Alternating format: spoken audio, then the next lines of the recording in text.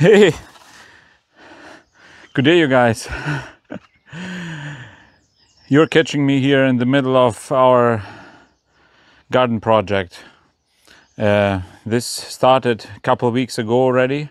I will um, uh, link the video in the description. We turned this uh, flower bed into a, a, raised bed for a garden, and uh, yeah, May wasn't great um, for starting a garden. I mean, uh, the weather was pretty nice, uh, lots of rain, so it was too wet to start a garden. And but now we have to. So welcome to No Risk No Farm. My name is Leo Risk, and uh, you see me here uh, at my least favorite task um, when it comes to gardening weeding. I don't want to say the word hate because it's, I think, a pretty hard word, but I don't like it. Uh, please put in the comments below what is your um, favorite and least favorite task when it comes to gardening. I would like to see that. So I started today in the morning uh, because the weeds were taking over already again. But I didn't want to till it because it's too wet. And so the, the tiller would be kind of uh, a mess. Yeah, and this is all the weeds here that I pulled out of the garden bed. And um, yeah, now I'm uh, kind of raking it together and then we will bring it over uh, to the chicks. Okay, let's finish this and then uh, continue. All these weeds, they drive me nuts. I don't like them. And um, found a pretty decent solution that uh, reduces uh, the work with weeds a little bit. We'll show it later to you. Um, at least I think 80%, um, it's 80% less work um, if you put it in. So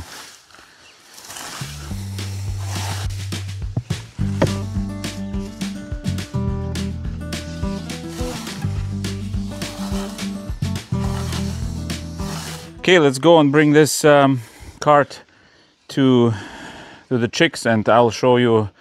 Um, yeah, show you the chicks.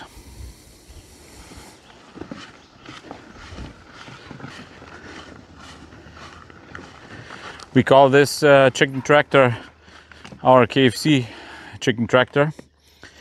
Um, we decided to keep it stationary because um, it's too heavy. It turned out to be too heavy. I think uh, the whole roof construction is too massive, and uh, I mean I can pull it. The thing is, uh, the chickens uh, are usually in the back. When I start to pull it, they're in the back, and then um, there is a chance that I actually drive over it or pull pull it over over them. And um, uh, actually, it happened already that I injured one, and um, yeah, it's too bad. So that's why we decided to keep it on one spot and just feed them grass instead and bring it to them basically.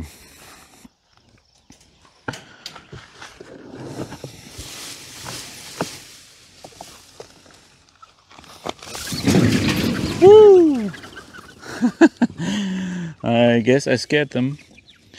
This is our oldest group, 2024. And um, it's a mixed flock. So basically, we have here our barnyard mix of chicks, and uh, we also have the the pure um, black copper marans here.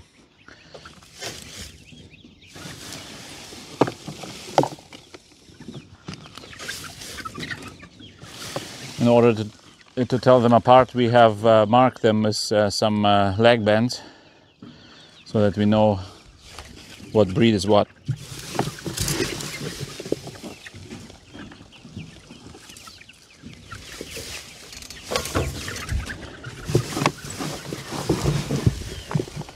Lots of weeds. They seem to be happy now, and uh, let's go get back to the garden. The next step is to smooth everything out and have it nice and nice and clean.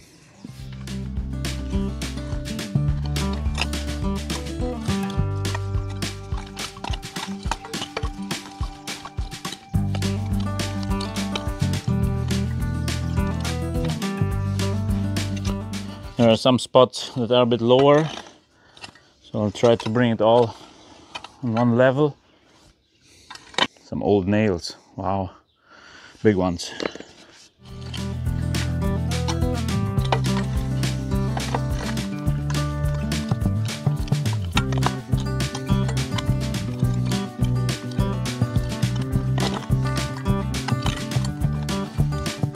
Now that the garden bed is nice and smooth, I would like to show you our solution to avoid weeds in the garden. It's the woven weed fabric.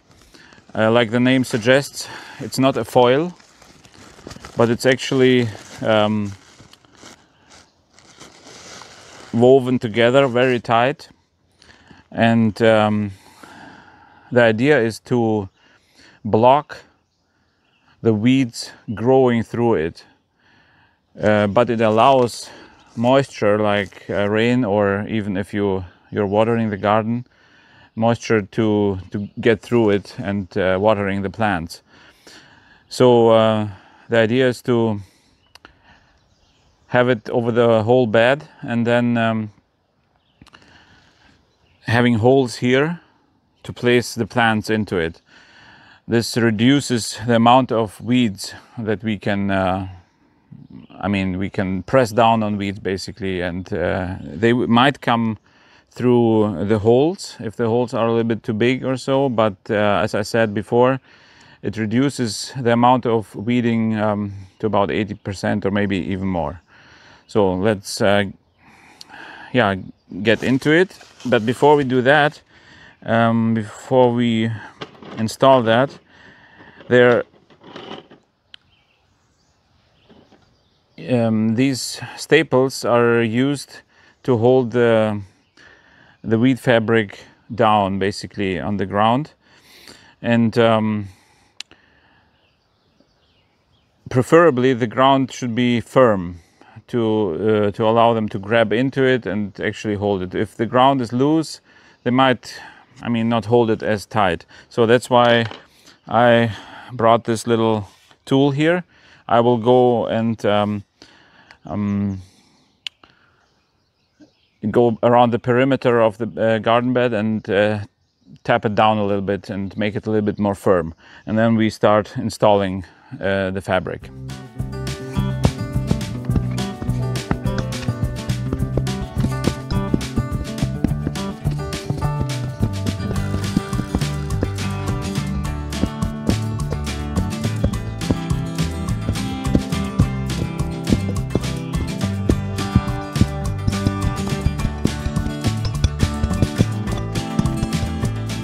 Now that the weed fabric is rolled out, uh, I need to cut it, or I would like to say burn it.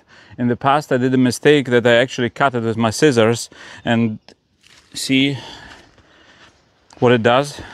Oh, the wind is taking the fabric right now, which is okay.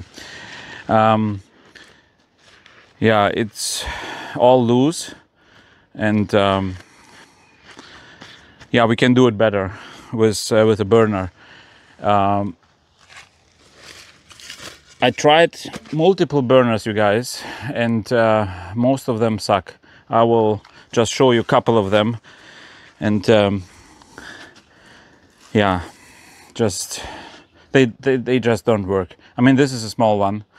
Uh, it worked, I think, for very um, nice days where there's no wind at all then it worked somewhat, but it wasn't a good solution. Then I started to buy uh, these um, types.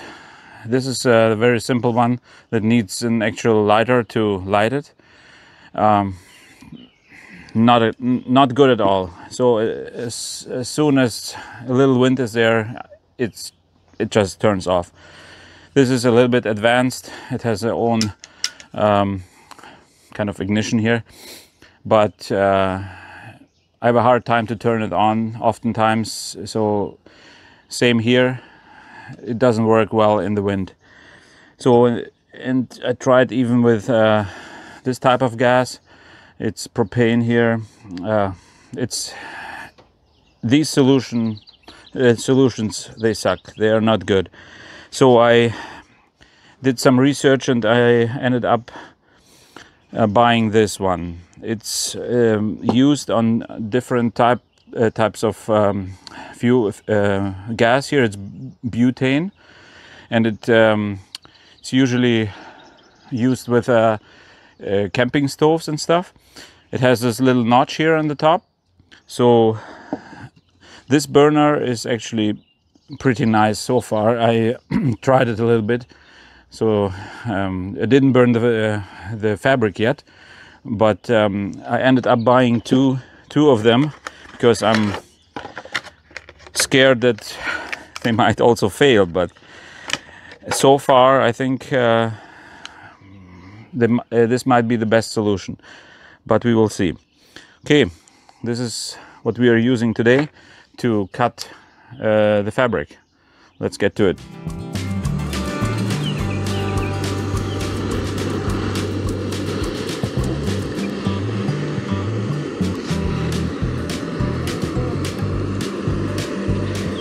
Nice.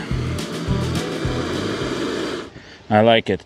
It seals the end of the foil nicely so it will not come loose and uh, yeah be oh it's hot yeah be nice and firm on the end this is what I like all right and uh, now I will try to install the fabric here on top of the garden bed I might uh, have to cut off a portion of it as soon as everything is installed. I think I will first staple the first corner here so that it stays in place when I'm pull pulling on the other side.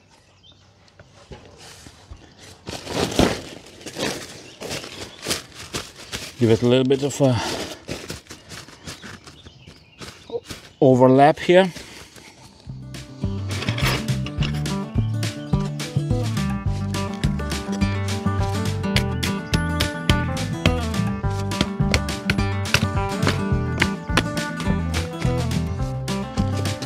that.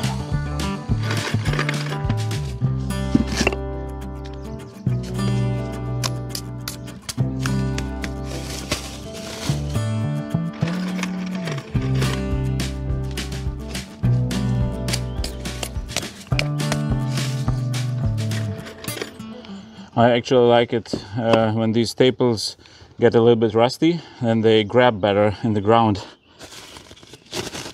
So the very new ones, they are kind of too smooth and uh, they come out pretty easily. Okay, so the first row is done.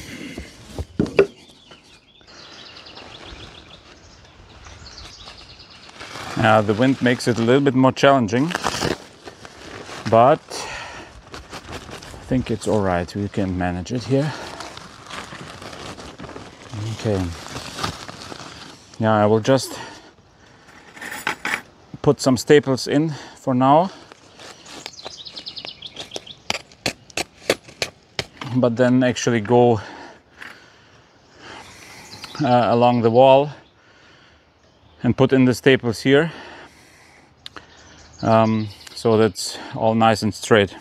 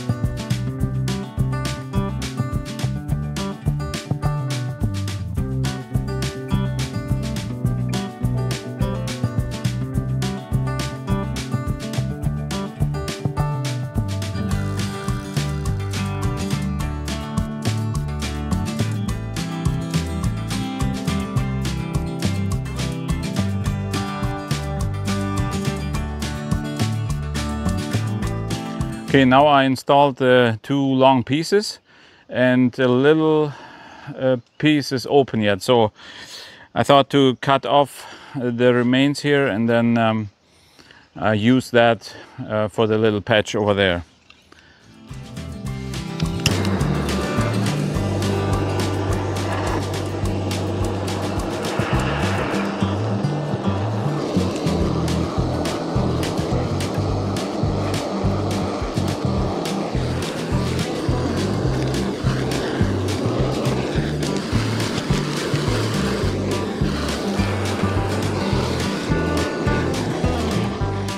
I'm pretty impressed with this new burner, you guys. I mean, it did a great job, and there's it's really a game changer compared to the other ones. Nice straight line here, and um, the seals are good.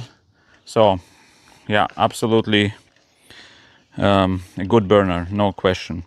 So now I will install two little pieces over there and then uh, we're done with the first step here uh, on this garden patch.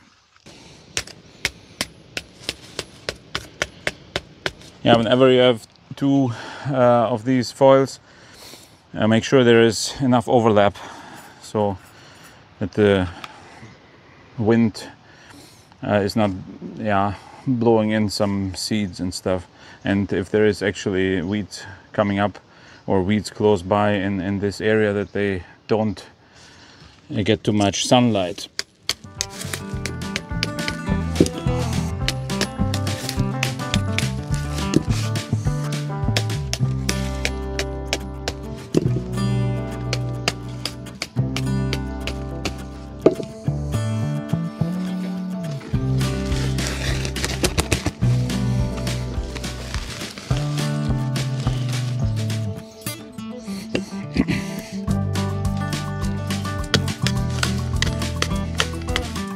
Now everything is nicely covered and for the next step uh, we will need um, at least two of my tools here.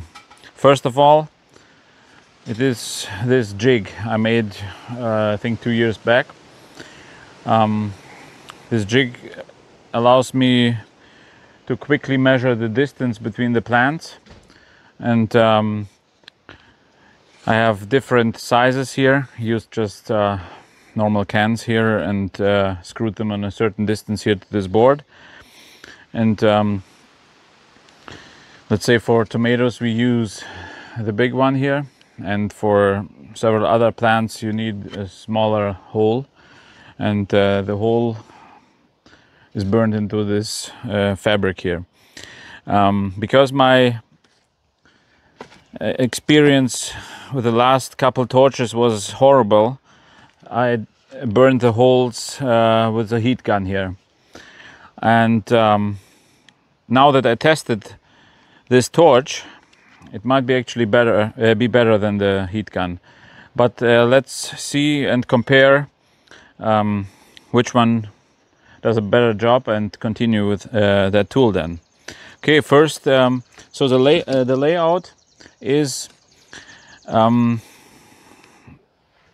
the first plant will be a zucchini and then we will continue with eight tomatoes and then the uh, the last plant in the row will also be a zucchini. Um, they will be all planted in the same distance. Um, it's about two feet from uh, from here. So the distance between the plants will be two feet basically. Okay let's do the first hole and then see how it goes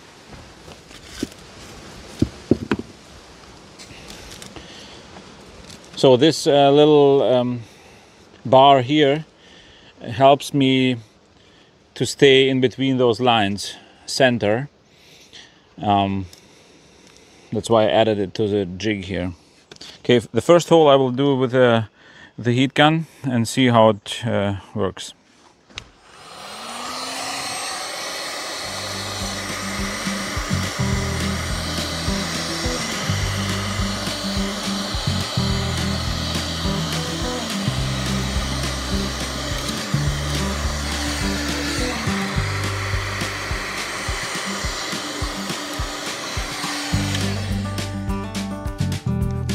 Okay, there's a hole. So it took a couple seconds, and um, now let's see how the result is uh, with the torch. So the tomatoes we will will plant on the second line here so that we have a little bit more space in the front for for a smaller plant yet. Okay, I will go 60 or um, put this uh, here on the center and then uh, stay on the line here. Okay, like this.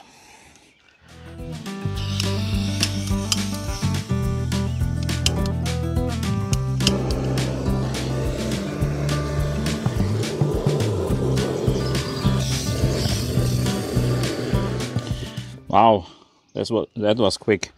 So, and the winner is the torch. So, I'll continue with the torch. This one uh, is not needed today.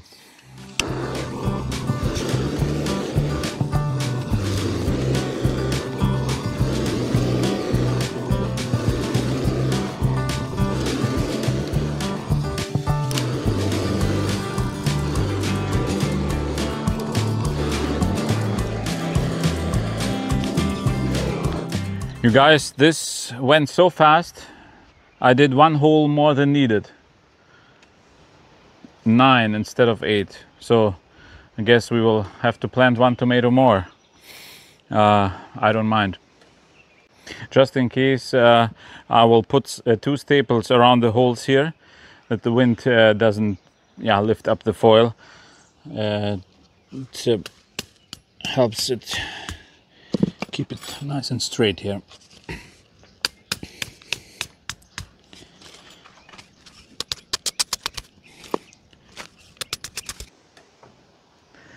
Now we need to make the holes for the plants and therefore we will be using this tool. I bought this set of uh, drills um, I think two years ago. Um, they come as a set of three for different sizes and um, yeah in this case I will use the biggest one and drill a nice deep hole for um, the zucchinis and the tomatoes.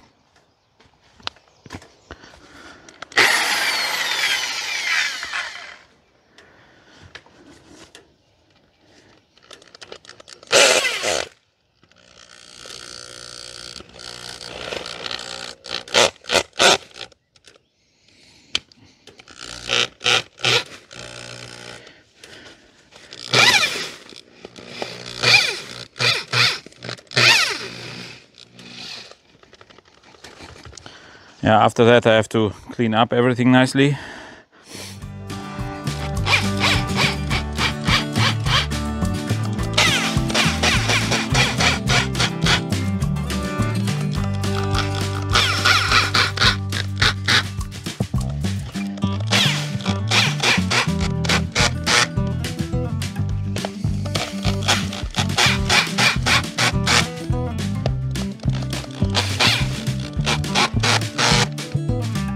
this garden drill make, makes life uh, a lot easier, especially for this type of work.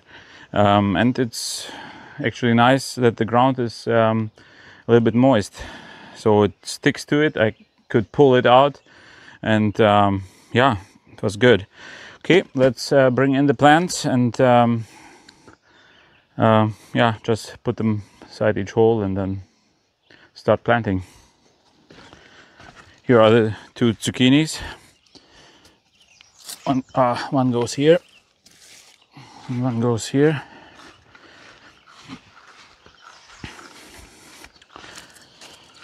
Yeah the reason why we decided to make a smaller garden this year is um, I mean if you didn't watch the previous videos um, it's because my wife uh, isn't doing very well. Uh, had some health issues in the beginning of the year and is still recovering. So and uh, that's why we decided to downsize this year and put the garden closer to the house and uh, have it way smaller than we used to have. And uh, yeah, now I'm actually helping to setting everything up. Uh, I will leave the rest of the plants uh, up to her, and she will do it um, yeah, based on her um, pace, I guess. And uh, but this uh, plants, tomatoes and zucchinis, they are ready to be put in, in ground. So that's why I'm jumping in here and doing it. This is our little greenhouse for this year. And um, yeah, we'll see how the planting goes. Let me quickly show you our secret uh, ingredients that we use. First of all, it is uh, eggshells and uh, the next ingredient is rabbit manure right from the source. Uh, some of the bigger rabbits uh, they um, have a pretty designated spot in their cage where they have their bathroom. So it's pretty easy to harvest harvest the manure from them. So we collect it over a certain period of time and then we have it for planting season. Uh, we put in in the whole one uh, one scoop of of that and uh, yeah, a handful of um, uh, of the eggshells and that helps the plants to actually grow faster and stronger.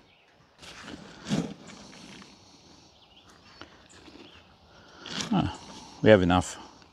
Can put in a little bit more.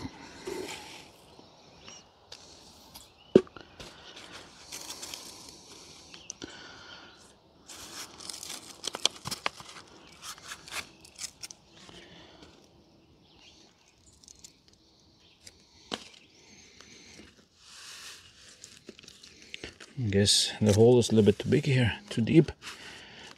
Okay, this is good.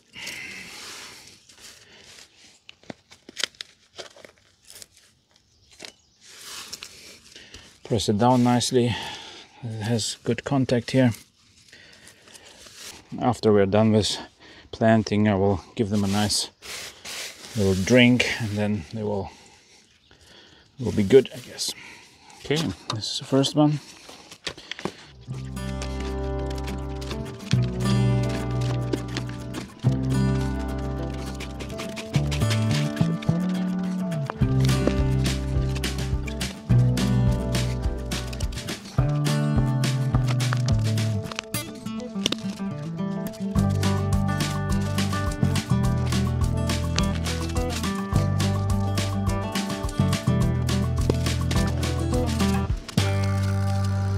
All right, now that the plants are in, I will quickly clean everything, but uh, I will do that off camera. I don't want to waste your time. And um, after that, I will give them a nice little drink.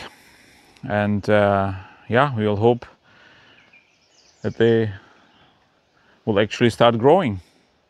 Um, eventually, we will put up a trellis system later to support them. And uh, yeah, we will update you guys on this uh, in future videos.